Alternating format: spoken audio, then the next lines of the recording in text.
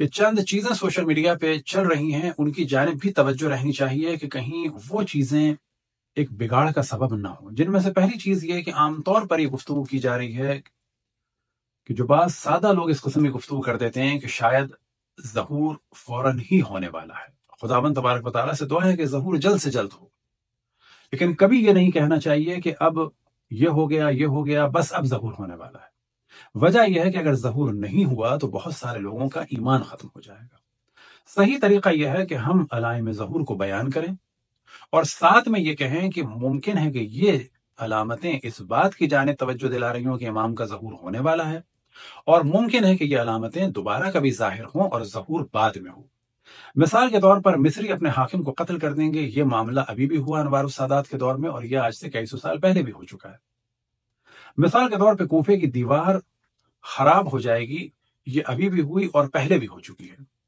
मिसाल के तौर पे कूफे में सैलाब आएगा, ये पहले भी हो चुका है और अभी नहीं हुआ और मुमकिन है कि हो जाए।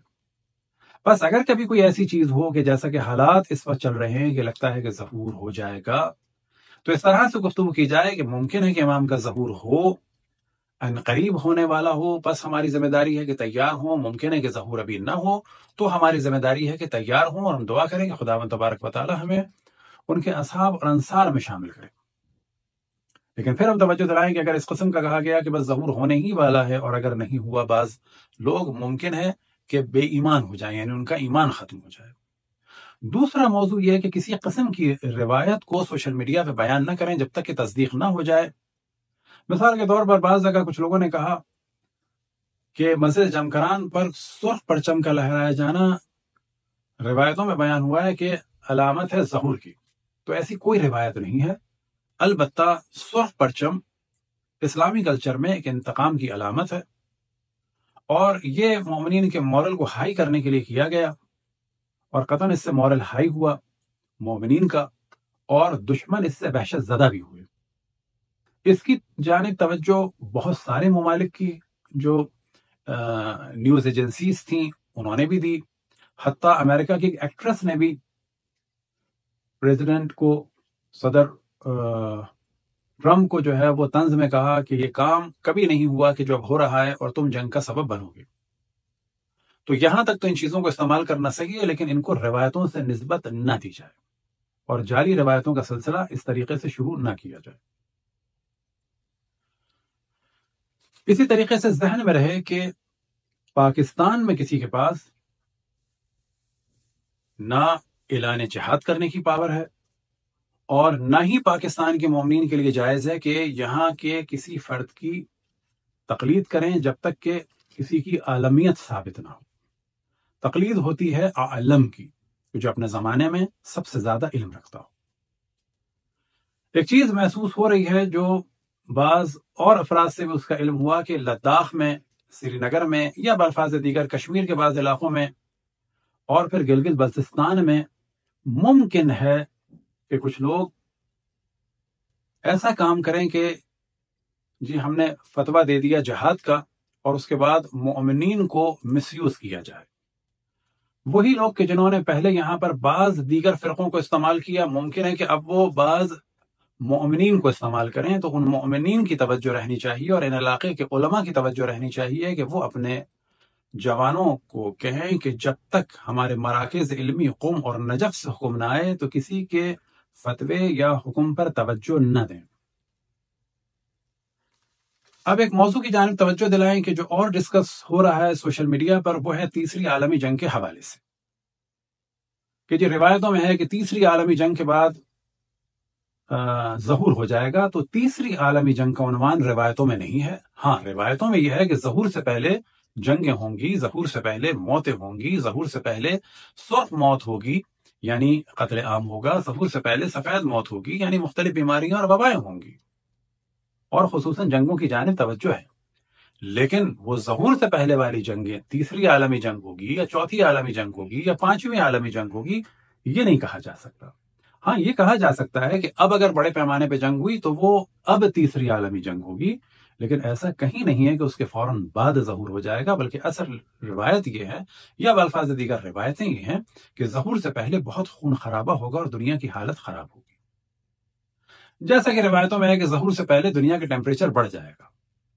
बस अब दुनिया का टेम्परेचर बढ़ रहा है कि जहूर फ़ौरन होने वाला है। मुमकिन है कि दोबारा सही हो जाए टेम्परेचर तो अब अगर दुनिया के टेम्परेचर बढ़े तो कहा जाएगा तैयार रहना चाहिए, मुमकिन है कि जहूर हो जाए।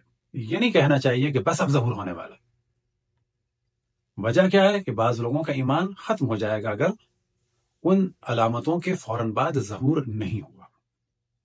लिहाजा एक रिवायत जनाब अभी बसीर से नकल हुई और उन्होंने इमाम जाफ़र सादिक से नकल फरमाया।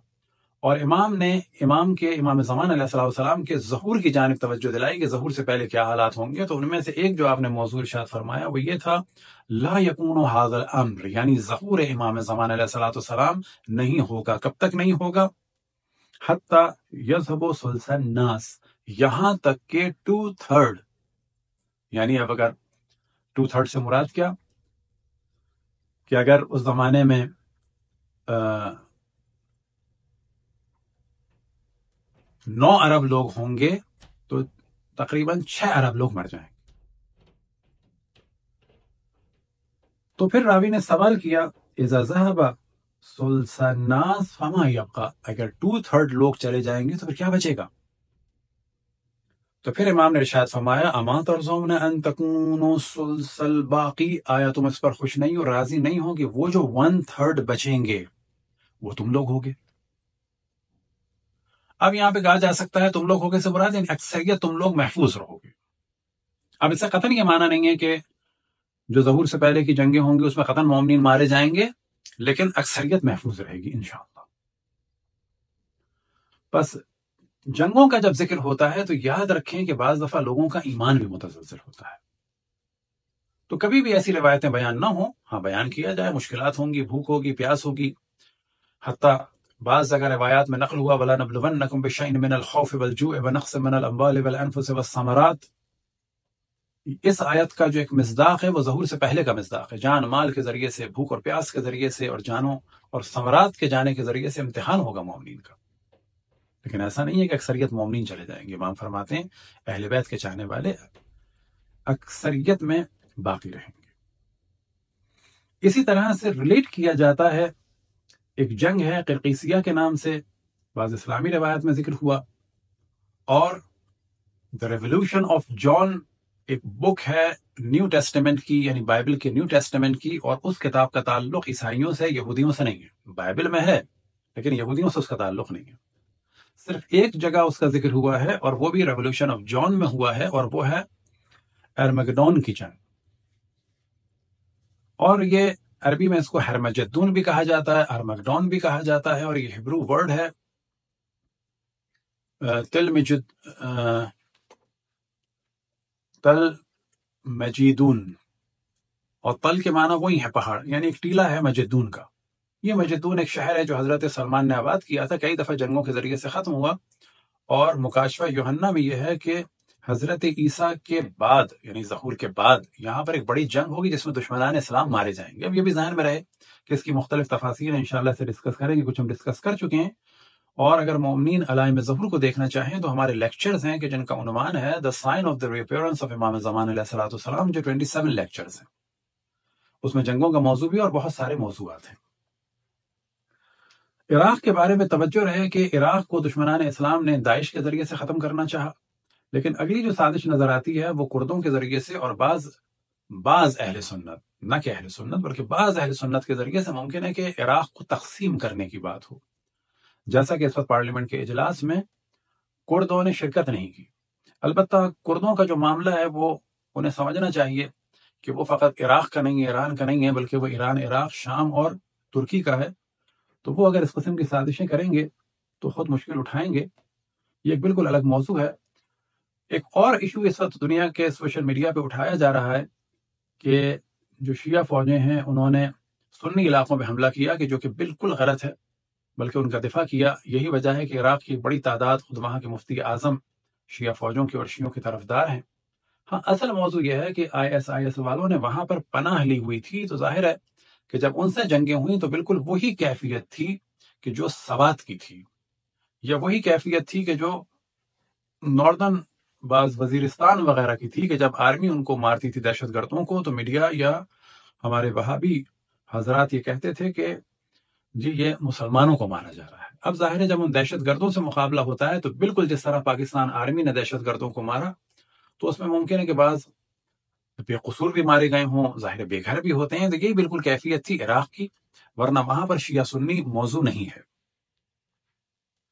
और अल्हम्दुलिल्लाह, इस वक्त तमाम दुनिया में एक ब्लॉक की सूरत से उठ रही है और पहला मौजू वो ये कि तमाम दुनिया के ममिन में इतिहाद हुआ है और तवज्जो दिलाएँ कि अयाम फातमिया में कोई ऐसी बात, कोई शख्स नादान ऐसी न करे जिससे ममिन में अख्तलाफ हो।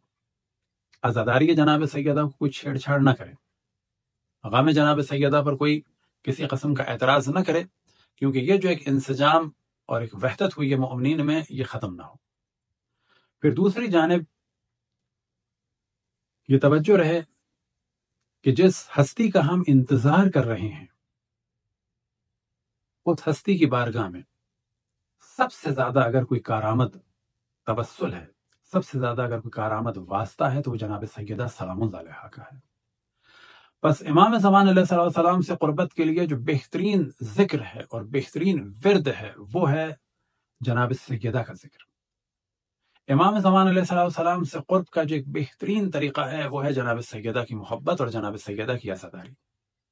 और इस जाने तवज्जो दिलाएँ कि हक़ को इलमी तरीके से बयान किया जाए, दुश्मनान इस्लाम को इलमी तरीके से बिल्कुल अया किया जाए। दुनिया के हालात की वजह से या किसी भी वजह से न तारीख में रद्दबदल किया जाए और न किसी कस्म की तहरीफ की जाए। अगर कोई तारीखी मौजू को बयान करना नहीं चाहता तो वो बेशक बयान न करे, लेकिन किसी भी सियासी उनवान से, किसी भी उनवान से तारीख को मस्ख न करे अपनी ख्वाहिशात के मुताबिक या अपने इर्द गिर्द अफराद को खुश करने के लिए न जनाब सैदा के फजाइल में कमी करे और न जनाब सैदा के दुश्मनों की हबासतों पर पर्दा डाले। हमने अर्ज़ किया, वो अगर ज़रूरत नहीं रखता, उनके दुश्मनों को डिस्कस करने की वो न करे। न करे से मुराद ये कि बहुत सारी चीज़ें उन दुश्मनों के बारे में वो डिस्कस नहीं करना चाहता, ना करें। लेकिन उनके दुश्मनों का दिफा ना करें। तारीख को ना पलटे। जिस तरह से पाकिस्तान में कुछ अरसे पहले हुआ कि जनाब मुख्तार के नाम पर मोमिन में इख्तलाफ डाला गया तो कहीं ऐसा ना हो कि इस वक्त जो तमाम दुनिया के मोमिन में इतिहाद हुआ है, वो जनाब सैदा की शहादत के उनवान से या उनके दुश्मनों के उनवान से किसी कस्म का इख्तलाफ हो। बस दुआ है कि खुदाबन तबारक वाली हम सबको जनाब सैदा सलाम के सदक़े में तोफ़ी अता फरमाए कि उनके फर्जंद इमाम ज़मान सलाम की बारगाह में हमारी इज़्ज़त हो जाए, कुछ आबरू हो जाए, वो हमें कबूल कर लें और हम पर एक नज़र करम फरमाएँ। अगर हमारे इस, हमारी ज़िंदगी में जहूर होता है तो दुआ है कि हम उनकी खिदमत गुजारों में से हों। और अगर हमारे बाद जहूर होता है तो दुआ है कि हमें दोबारा ज़िंदा फरमाए और उनकी खिदमत गुजारों में से करार दे। हमारी और तमाम आलमीन की रूहें कुर्बान हो जाएँ इमाम समान सलाम की, के कदमों की खाक मुक़दस पर। अला मुहम्मद